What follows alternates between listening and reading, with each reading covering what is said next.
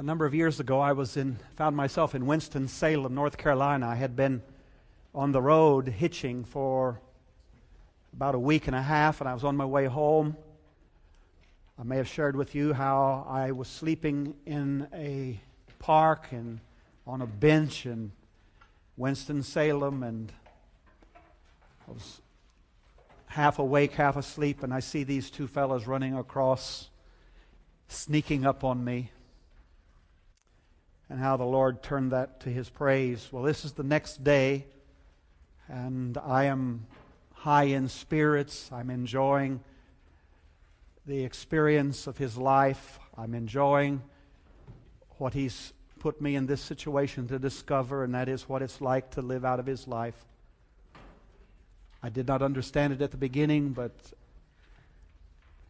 in this experience, this, this the season of experiences, he was showing me that we could trust Him and that He could be in our every step. He could be in every encounter. He could be in every circumstance. And He chose to be if we would just look for Him there. So it's early morning. I believe it's a Wednesday because I'm hoping to make Charlotte by nightfall. Not such a long drive, but not knowing how many rides the Lord would take to get me there, and knowing that sometimes, although this had not been my experience, there had only been one other time that I had waited maybe any longer than 15 minutes.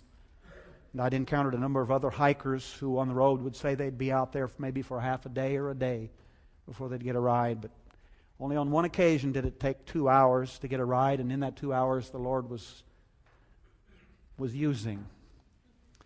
So early this morning, I'm out on the, beside the road, and it 15 minutes past, 20 minutes past, significant amount of time passed, and I get to ask questioning, Lord, am I not to be out here? Am I to be back uh, in Winston Salem? Are you not done with me here? I didn't feel to turn around, so I'm out there for some more time and a little more time passes, and I decided, well, I must be belong back in Winston-Salem. So I'm heading off the interstate, getting ready to go back up the ramp. And just about this time, come under, coming under the overpass, uh, is this uh, little uh, Ford Pinto, I believe, something like that. It was a small, older Ford, beat up Ford, and all the windows are down. Have I shared this here? And the closer they get, it's steaming out from under the hood. And the closer it gets, I see that it, this little Ford has four occupants. And I cannot see how they can hold another. And I see that the four occupants are not the kind that I would normally pick for a ride. And they actually just kind of moving on past me, slowing down, and uh, I'm thinking, well, they weren't stopping for me, they're having car trouble. And I'm about to head up the ramp and look around, and there are these arms out the windows going like this, you know. And so my agreement with the Lord has always been that don't let them stop unless there's something in it for you. For me, or for the passenger or passengers. And most times it's just one who will stop. Rarely is it more than one, but this was a carload, four. And so my agreement was if they stop, I would get in. And so I'm making my way towards the car, and the closer I get there, I am not liking what I'm seeing. There's a, a man in the front seat and a woman and a young man. Uh, this one man front seat, I would say he would be in his early 40s. The woman would probably be in late 40s, early 50s. The boy in the back probably was no more than 20, maybe younger. The other man was the oldest man. He probably was in his late 50s. And they had a cooler between them in the back seat, so I had to get in the front seat between this. And I didn't, I would have thought she would have moved over, but she didn't. She got out and. I got in.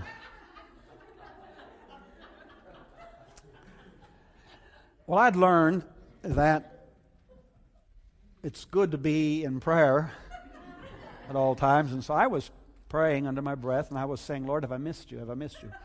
Lord, hoping that maybe He would say yes, and I, I could excuse myself, but He didn't. And I'm getting in, and I'm feeling uncomfortable because they, they are not looking good. they, they are a rather ragged bunch. They, they do not look good. Patty has asked that I not tell you about her. Uh, I mean, she, they all were out of the hills. They were, uh, they were out of the out of the mountains. And I, I, I, don't mean that in a derogatory sense to say mountains, but they are as rough as you could imagine. And that's what they look like.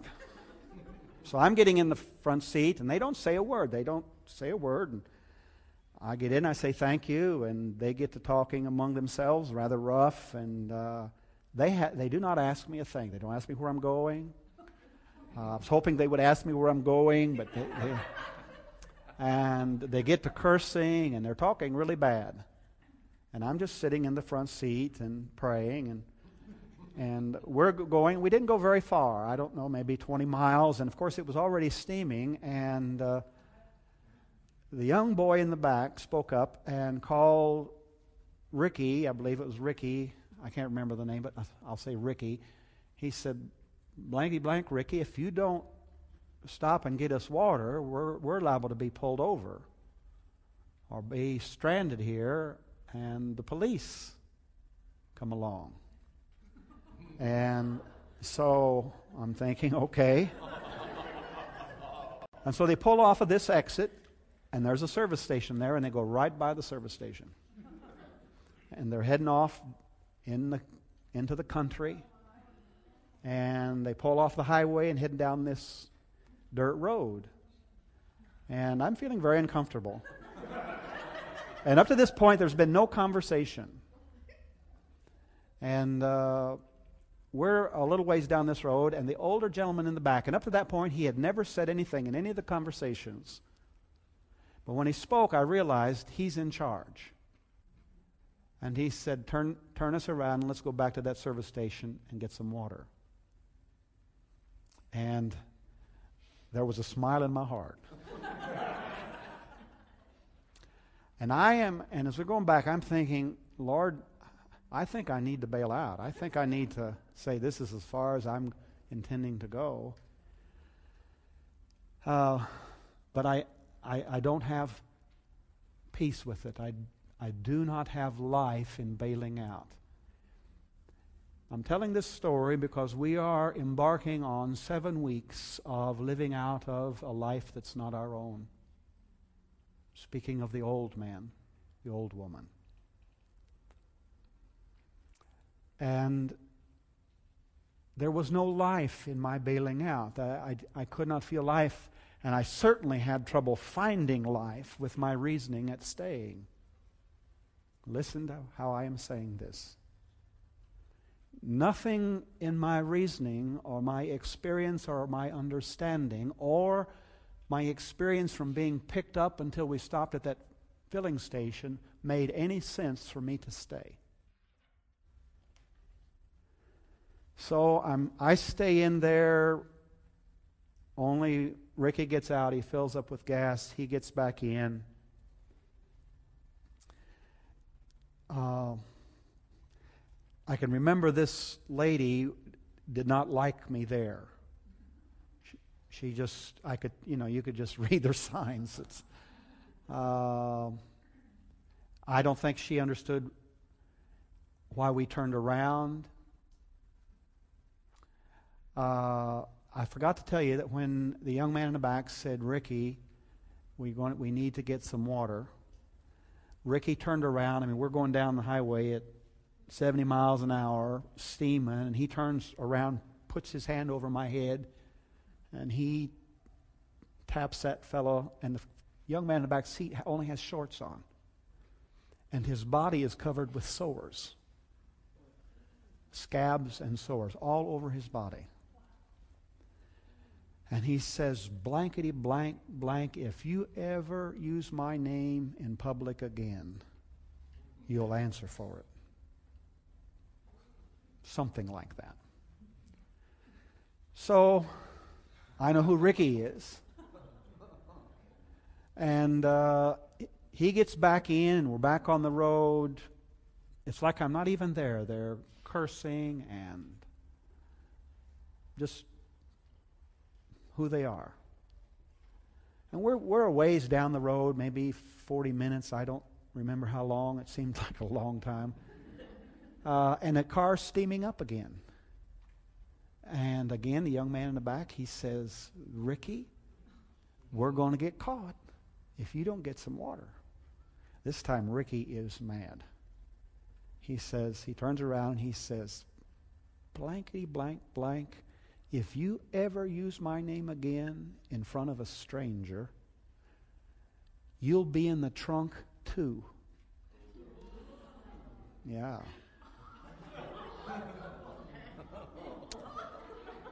I'm thinking maybe there are dogs in the trunk. I need to tell you, this was my last trip.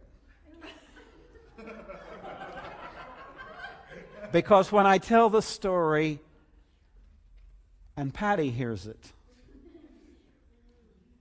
she never was comfortable, but she just could not handle it. But anyway, obviously, here I am. Again, Ricky pulls off the road, passes several service stations and it's heading off to nowhere. And I am, these guys have bad intents for me. And again, we're off on a side road. Again, the older gentleman, the second thing, only the second time he speaks up, he speaks up and he says, Let's go back to that service station to get our water. Turn around. And Ricky looks back at him and obeys. I'm going to bail out. I'm saying, Lord, I've got to bail out. It doesn't seem to be working. uh, but in the back of my mind, I'm thinking about that young man and his sores. And so we're pulling into the service station, and they're all getting out. And it just hits me I'm to pray for this young man or I feel like I'm to pray for this young man. And I turn around, and I knew his name by this time. It was in the blankety blank. And I turn around and I say, I don't remember his name, Tom. I say, Tom, I, I notice your sores. And my God heals, and He's promised to bless those I bless. May I pray for whatever has caused what's wrong with your body. I don't know my exact words, but that was the intent. Everybody freezes in place. Ricky's at the door. She's turned and is about to lift off.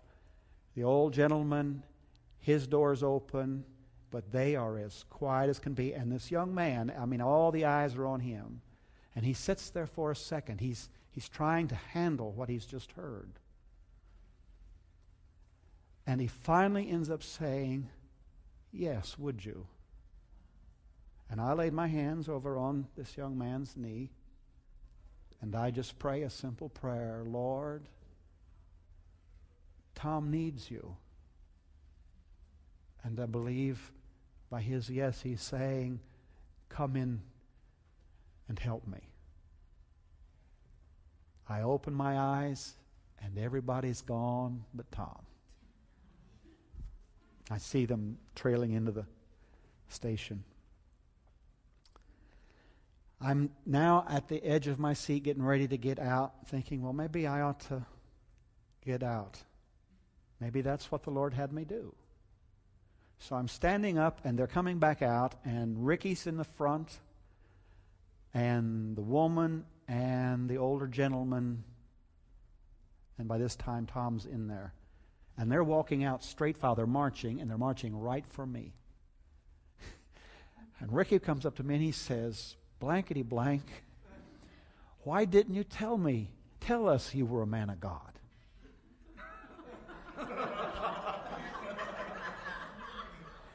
we wouldn't have talked like we were talking had we have known you were a man of God. And I said, Well, I, I didn't think it necessary. I, I said I was appreciative of the ride.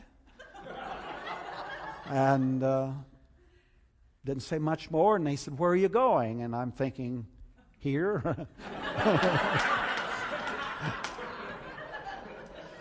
but you see, that was a lie. I said, Well, I'm going to Charlotte. They said, Well, we're going right through Charlotte. And we'll just take you wherever you want to go. I'm thinking, Well, Lord, maybe. Well, anyway, I'm back in the car. We're pulling out on the highway, and Ricky's doing all the talking.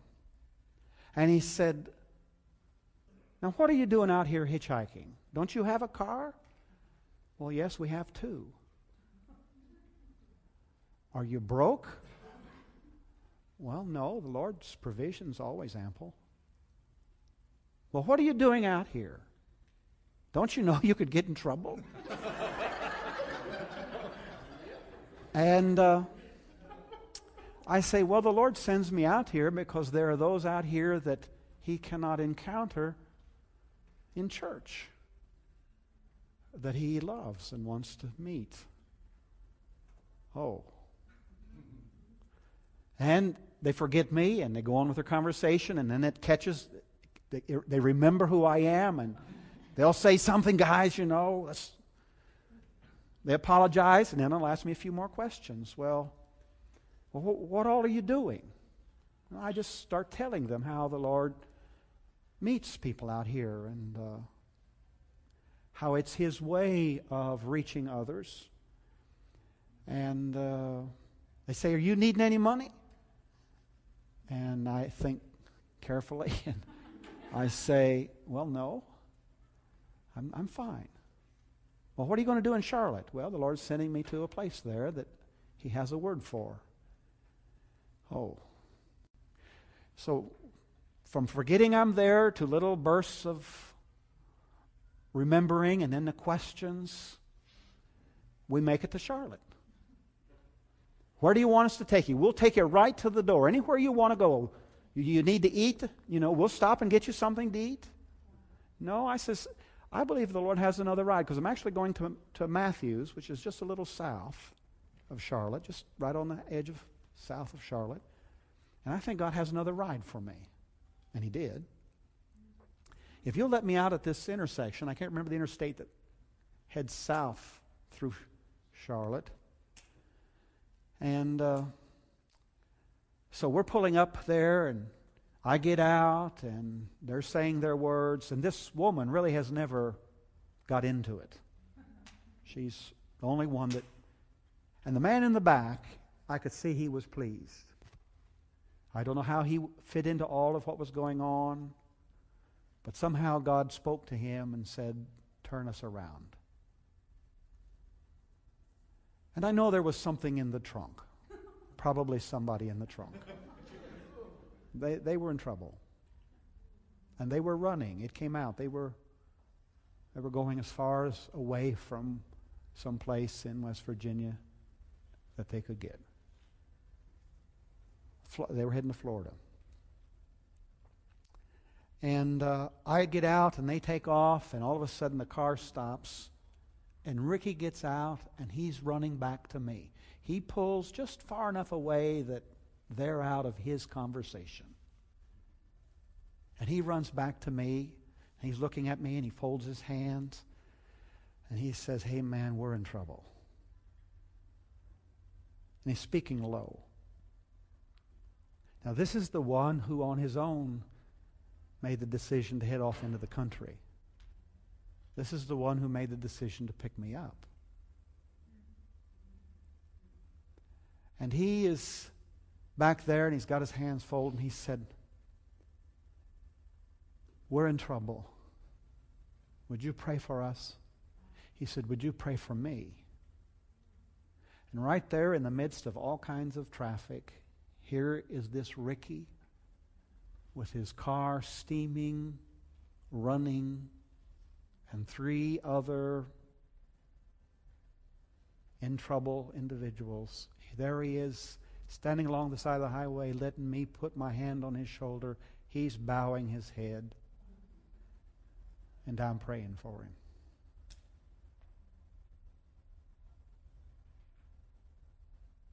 I kept thinking I would see them in the paper somewhere, or I believe I'm going to encounter one of them someday. I don't believe that what the Lord was doing, I wasn't doing it.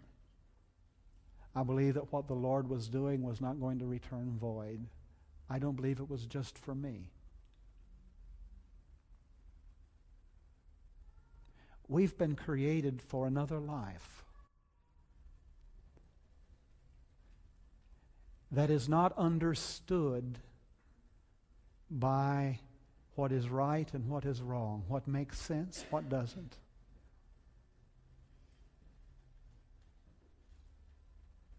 I believe it's a life that's out of man does not live by bread alone, but by every word that precedes, or pro, excuse me, every word that proceeds from the mouth of God. A life that does not turn what God has said into do's and don'ts and reasons for living one way or another, but that which God has spoken has led us to Him. And in finding Him, we're not satisfied with what He has said. We cannot live out of what He has said. No matter how many principles we can glean from it, no matter how many rights and wrongs we can end up with, we'll not be satisfied except by His proceeding word, what he is now speaking.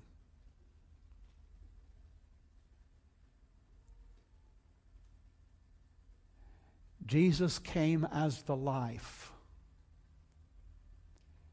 the life of God in man. Jesus spent three and a half years walking and teaching and demonstrating what it is for man, Son of Man, what it is for man. Never less than God, but no longer living anymore as God, but having chosen to lay down that as God life, humbling himself, taking on the fullness of all that man was intended to be, now living out of a life that was not his own. Everything I do, I did not do, Jesus said. He could have done it, but he did not. He faithfully did not live out of his himself. He did not speak from himself. He did nothing, nothing on his own initiative so that he might show us what that looks like. To show us that for which we were created the very tabernacle in creation of God Himself, the very house, the abode, the body of God Himself in the earth. We've talked about Jesus being the truth, the truth both about God and the truth about man. And the truth about God is that God has chosen to limit himself to life in and through his man. God does nothing unless he has a man or woman. God does nothing in creation unless he has a man or a woman through which to do it. He is not a man that he should lie. He will not go back on his word. He said, Let us make man in our image and our likeness, and let him rule over all of life and everything that is on the earth. It ends with that second man becoming the last Adam, bringing an end to a race that would not and that could not, and that had only one alternative left, and that was to be replaced, to die. God's solution was not to make better that old Adam. God's solution was to bring an end to that old Adam. That's why the Word of God speaks of Christ being the last Adam and the second man. God's redemption of you is not to make you better, but to replace you.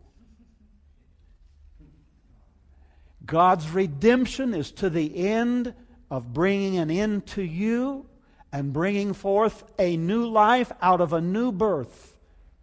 Born no longer of Adam's seed, but now from the very sperm of God. 1 John 3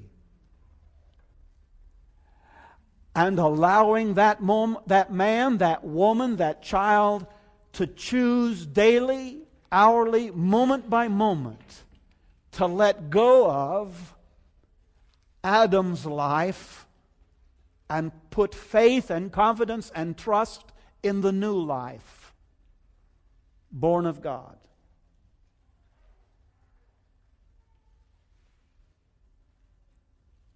And Jesus came to demonstrate that as the truth that it takes God just to be man, it takes God just to be woman as God created us to be. You cannot know life, you cannot know normal human life without God having his rightful place on the throne of our hearts and our lives. Everything else is death. Everything else is death. And Jesus came as that truth. And Jesus came not only as that truth, but as the way. The way from Adam's life to the life for which we were created. The way of intimacy, of witness, whereby being with Him, He will make us. All He's asking us to do is to believe. And that faith produces an obedience to Him. That faith is not a faith that comes by way of works, but it's faith that works because His life takes over and His life works. Are you hearing? Not a performance by the old man to attain, but a laying down by faith of the old man and trusting Christ to do what he by nature does naturally. And out of that faith and out of that trust comes forth a life that does not make sense to a John Brown getting into a Ford with four very scary, the worst of the world, but loved by God, every bit as capable of being the potential of the vessel of God as the John Brown raised in a Christian home that missed almost all of that stuff. I had my own stuff, it looked better kind of stuff. Most would feel comfortable with my kind of stuff, but it was as vile and as full of death and as full of going nowhere as these four in this little Ford Pinto. The good of John was no better than the bad of Ricky. They were both living off of the same tree.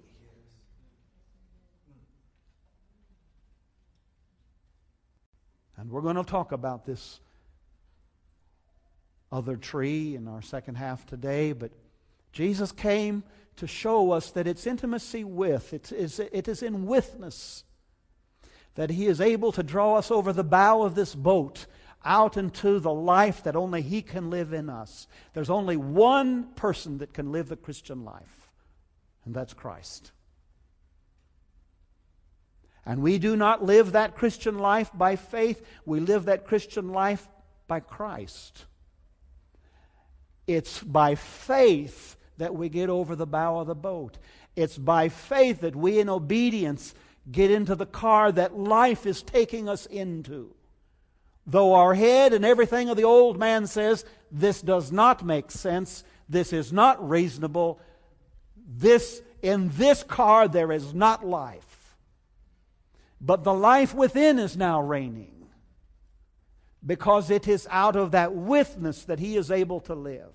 It is by faith in him calling us across the bow. It is faith, placing our trust in him in those areas that he has already announced to us that he's going to call us. That's what we spent the last seven weeks on.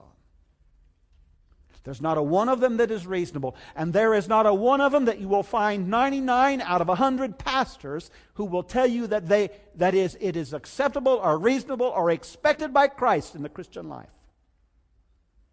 Say goodbye to all your own possessions. If I were to ask for a raising of hands, there's probably not a half a dozen of you, if there's any of you who have ever heard it preached that's, that that is the way to liberty in life. That that is the way to prosperity in life.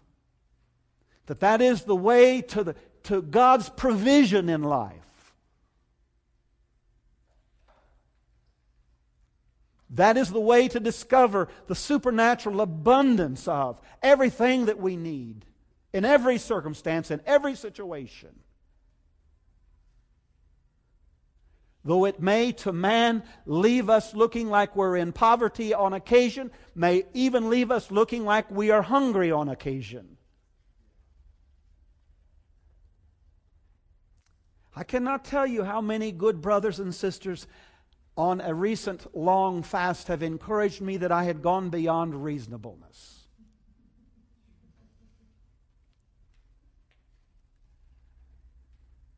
And they were right. But the life was leading me on. And I cannot tell you how much of that life I discovered being beyond reason.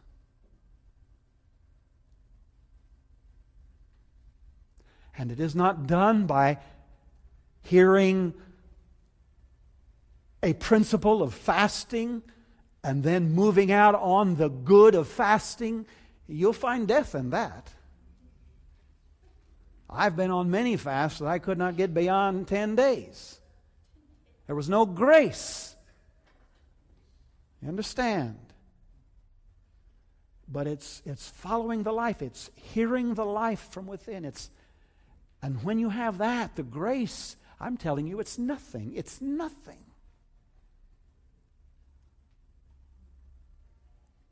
If the life is moving in this direction, you'd better be with the life because the death is if the life is moving in this direction and you give up the fast in that illustration, there's death in giving up. There's no grace in giving up. I have felt death in giving up, and I have felt death in continuing because life was not leading in either. But the knowledge of good and not so good, better and best. You understand? we're going to be looking at living this other life. And I'm hoping that the Holy Spirit will get a hold of you in areas that He wants to take you into a witness, into an intimacy whereby it does not make sense, but the life is so wonderful and so good. It's like soaring with the eagles. It's like walking on water. It's like I cannot tell you what my heart was like when that pinto finally pulled off. I cannot tell you what I felt. Oh, the next ride was in a van, a work van, and a guy was selling auto parts. And a Christian. Boy, did I unload on him. I mean, I was so, so full of life and joy and I was for a while. I mean, I just, it was wonderful. It was wonderful. Poor Patty.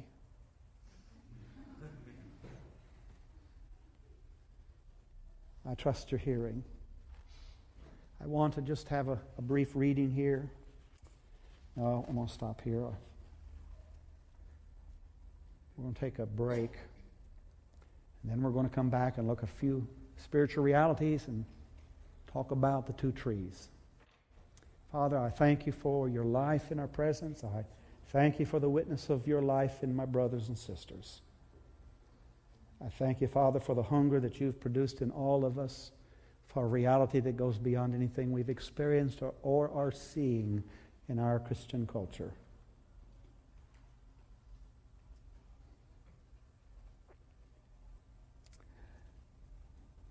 Father, I'm just asking that there just be some way where not so much the syllables and sounds, but the breath of your presence would just somehow flow here. Father, I just breathe. Come forth.